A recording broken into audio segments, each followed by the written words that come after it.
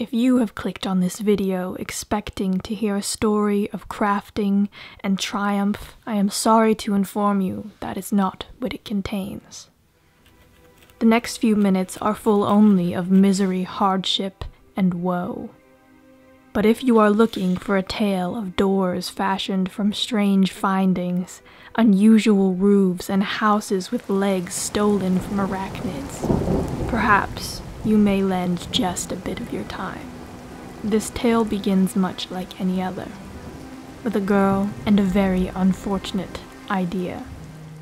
If you're like me, you probably grew up reading Series of Unfortunate Events. This is gonna be a little bit controversial, but I actually do prefer the film version. I know the Netflix series was more true to the books, but I do think that the movie was a little bit more well designed, personally. The part of the movie with the sanctuary is a word which here means a small safe place in a troubling world.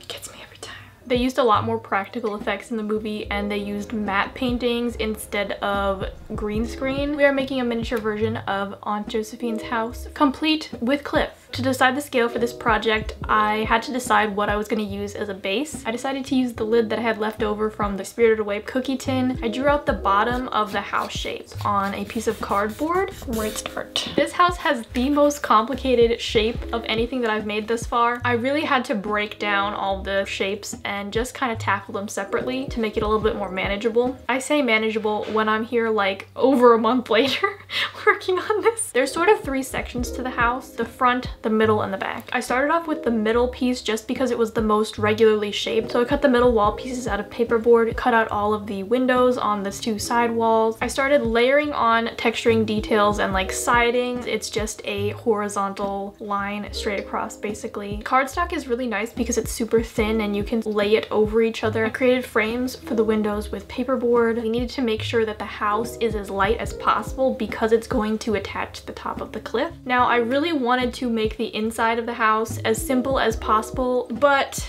that didn't really go as planned. I did quite a lot of work on the inside, probably way too much. The two inside walls were rectangles with triangles at the top, you know, kind of like a normal house shape. There are several different window details on the two walls above the doorways. I just cut out that piece, laid on plastic for that, drawing what the piece should look like and then just cutting it out from there. A very scientific process here. I went ahead and did Ike's room. The wall with the window textured the outside of that with the same siding method, layering on cardstock, but I kept them long because I knew that that was gonna need to continue on the side walls so that I could wrap it around later. I added a circular frame for Ike's window. I did layer on some texture for the flooring. Essentially I just cut strips to different sizes to lay on like a floor. Went on the other side of the base cardboard, textured the bottom of that as well. I moved to the back room room to start making those walls. The front and the back rooms were a lot harder to make the shapes of for the walls because they sort of curve and then go straight up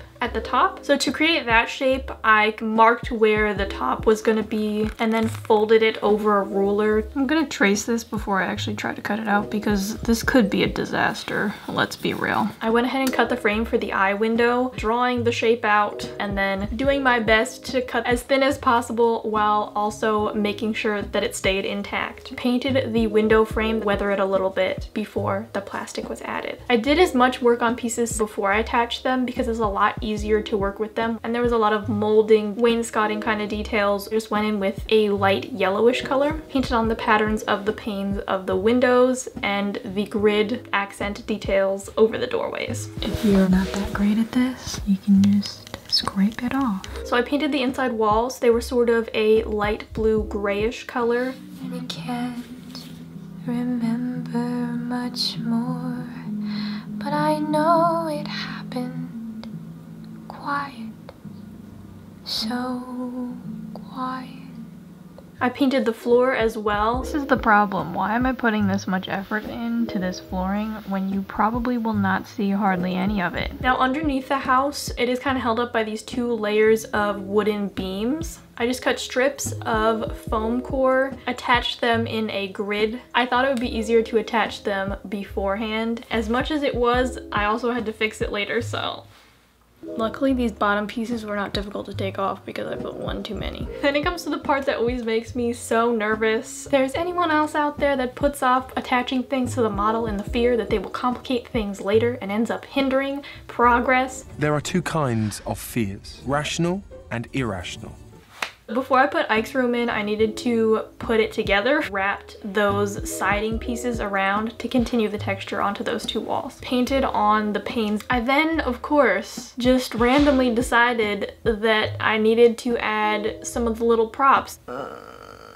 It was so unnecessary. All those tiny papers and photos hanging on the walls. I used a scrap from my Victorian letters, drew some little designs on them, some maps, things like that that are in the room. Either you can see or I can see. We can't both see at the same time. And then I also went in with some thread and stuck a bunch of them to it so that you could see it in the window.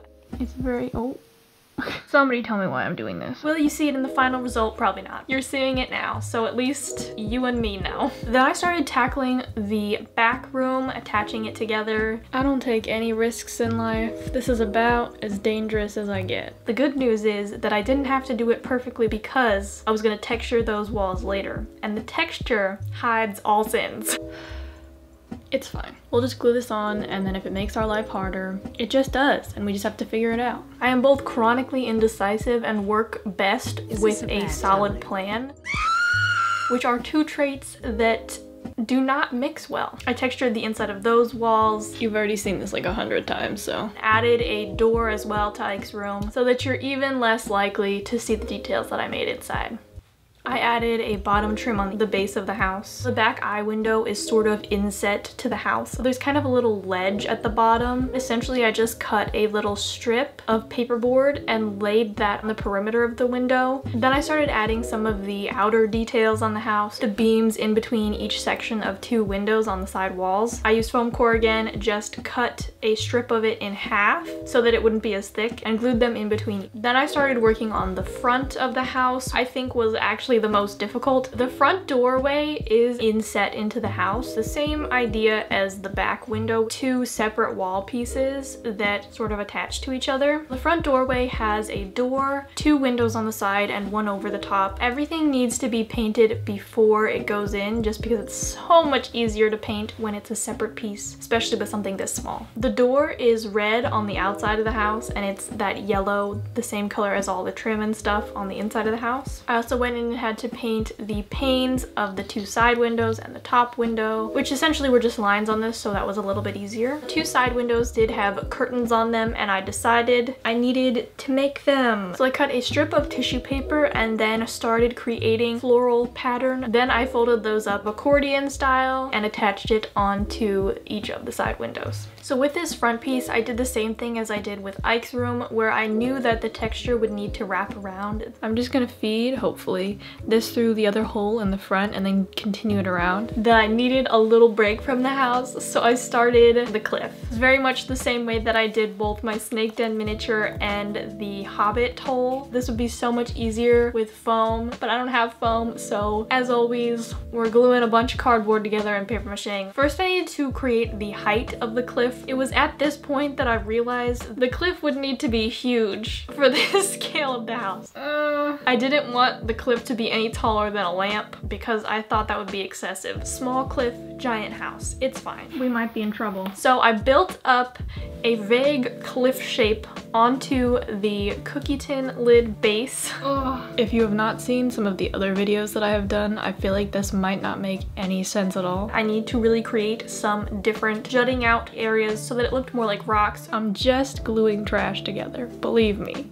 I know. You may know what's coming next. We're crumpling up some foil and tried to create some vaguely rocky shapes. Probably could have done a lot more of this and it would have looked more like the one in the movie, but believe me, it'll be a cliff in the end. At least kinda. We're going in with our flour and water mixture. So I just went around the entire cliff, put strips of newspaper on. I also did the bottom of the tin as well. We will make that into part of the lake later. Now, in order to make it look like rock, I did have to go in After it dried, do a layer on top of that with the same paper mache mixture. You can add a lot of different textural effects with the shapes and contours of the existing forms. Stippled it on with a brush, built up some areas, had less in some areas, and also just drew out some different rocky sort of lines and stuff, just trying to create more texture. And as that is drying, it's time to start texturing the back and the front of the house. Now there are actually two versions of the house. They used a combination of models and a built set, especially in the room with the back window. The set that was built does not match the model. We're just gonna pick and choose the pieces that we like and make our model based on that. The model has the same sort of haphazard shingles as the rest of the roof does. We're gonna create some of those shingles. So I went in with cardstock strips, cut them a little bit wider than I wanted the shingles to be, trimmed out different lengths and shapes for the shingles on the bottom.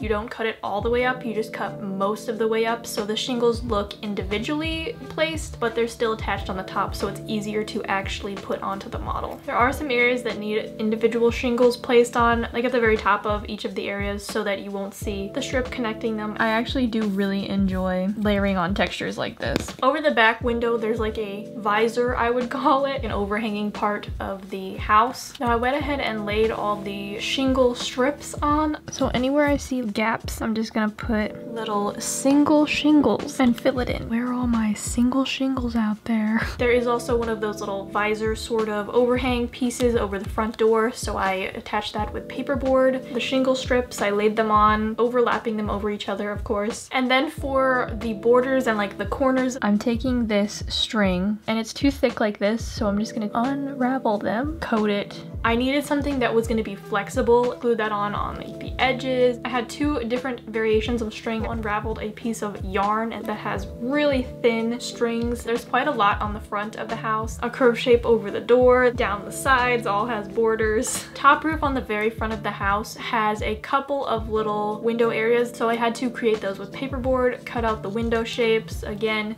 attach the plastic to it, paint on the panes, all those things, texture those. I laid on all the shingle patterns for the front roofs. Here's what the roof looks like. Start gluing it on. Pretty much all the roof sections have a flat part and then a various amount of different shapes that slope up to that. I cut the roof bases out of paperboard. I did a lot of the details before I attached it on. The middle roof does have a, another section, so of course they need to have as many complicated shapes as possible. But before we attach that on, I need to cut out the area. I went ahead and textured all that first, painted on all the window panes, added all the siding, and then I attached those on. It has a couple of sections that are sloping down, and and then it has a flat roof. The back roof kind of looks like a boat. It has a center with a boat sort of shape and then the roof sort of slopes up to that. It has a wooden planked top. Continued the shingles from the visor part of the roof up. The back roof does have the siding texture sort of and then the rest of the roofs all have the asymmetrical jagged shingle pattern. Did some of the border details in a lot of the different corners where the roof pieces meet each other on the top of Ike's roof. Just like on the outside of the house there are support beams so I went ahead and added those in with foam core again. I also continued the side beams up onto the roof overhang. The proportions completely off but you know what we're getting there. There is also a chimney on the back side of the house so I went ahead and started creating that. I made the shape out of paperboard. Top has a sort of circular pipe looking thing so I used a bead to create that. Went in with my paper mache liquid and created the stone texture drawing out all the stone pattern on the outside. I attached the chimney onto the roof, added the pipe detail on the other side of the house. I used a twist tie, I found a round one, bent that into the shape, cut it to size, glued it on there, created the little pieces holding it on with cardstock. Arguably one of the most difficult parts of this project, decorative fence that's on the top of the roof. I took a matchstick, cut it into the tiniest pieces I possibly could. Glued all of them on in hopefully equal distances from each other. I uh, didn't cut it very evenly.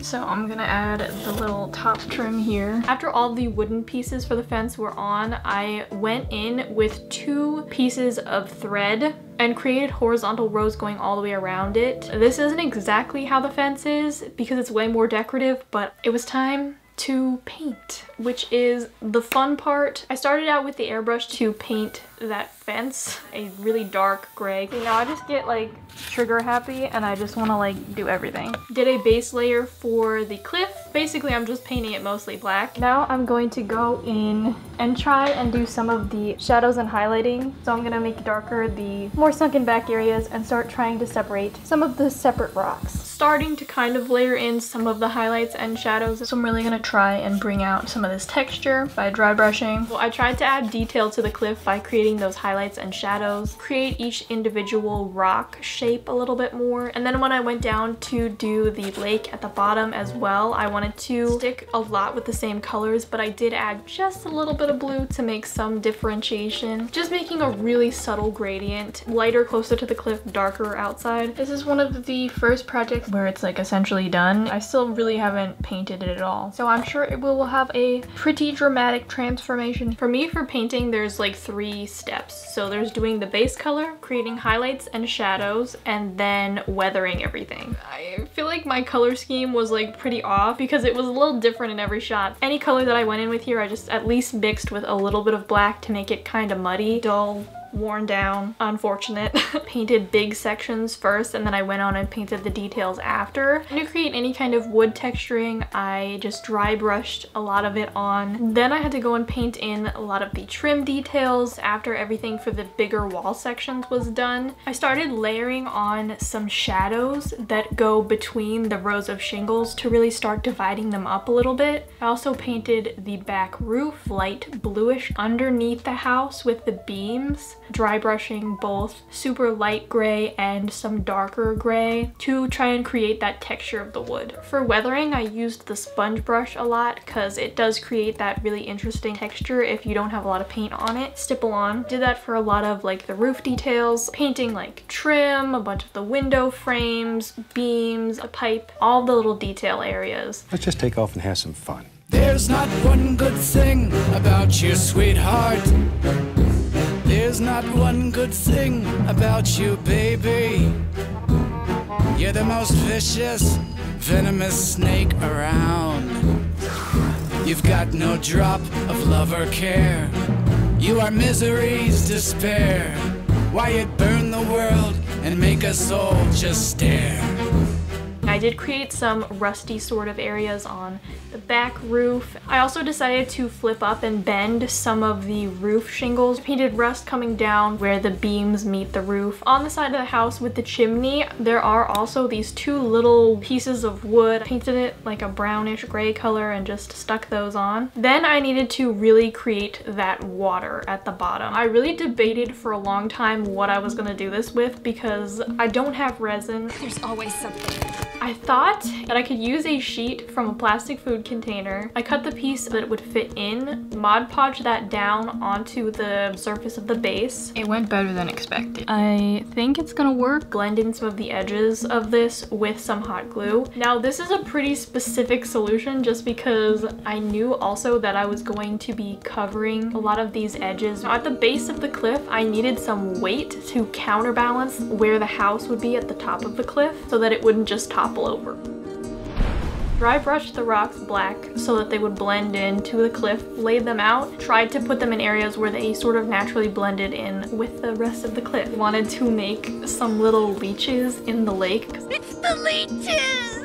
I made those out of Sculpey. Super simple. It's pretty self-explanatory. The same thing that I did in my Snake Den miniature. Painted all of them black. Sneak some of them under the surface of the plastic so it would look like they were under the water. And then some of them were on the top. Then we need to create the surface of the water. Mod Podge the top of it. Well, it'd be great if I had glossy Mod Podge, but I don't. So I think it'll be just fine. And we're gonna become airbenders and used air to blow it towards the cliff where the waves would be headed up some of the rocks to add that gloss where the water has been hitting them. Now the leeches are gonna be just slightly different. There's gonna be more roughness where they're biting. Stipple some more texture on there. After that had dried, I went in with white paint on the sort of crests of where the waves are near rocks and the cliffs, also around the eels. Then we had to, of course, attach the house onto the cliff. Depending on where you look at in the film, it's either the entire house is off the cliff or the front of the house is attached to the cliff and the rest of it isn't. Just because of the scale and, you know, gravity, I decided to have the front of the house be the attach point to the cliff and not have the whole thing off. It really looks like an optical illusion. Then I needed to add on all of the support beams that are jutting out from the cliff. So this I used popsicle sticks, cut thin strips of them. I painted them gray, supported by a very precarious pile of various craft supplies, much like my life. Hot glued all these support sticks on. I started with the longer ones and just worked smaller um, across. Very haphazard, much like most of the things in this project. Then I had to create the front steps. I Did that with styrofoam, a sort of half oval shape with some steps. Then I needed to paint the top of that and luckily the texture of the styrofoam was perfect for that and it really created that stone feel. There's like a railing around the landing of the steps. Create that with some thin wire stuck each little prong into the styrofoam and I had to make the railing. This was super difficult. then I had to work and finish off the top of the cliff. To break up the flat surface, there are basically just cracked rock formations. So I went in with my paper mache material, built up some areas and carved out some of those cracked areas. After that dried, I went ahead and painted that, painted in the crack details, made as many different rock texture details as I could. Now there's also a small portion of the road. I say road as if it's like paved, but it's just a bunch of stones. So to create that texture, I did just layer on some dirt and then stipple painted on some different shades of gray and black.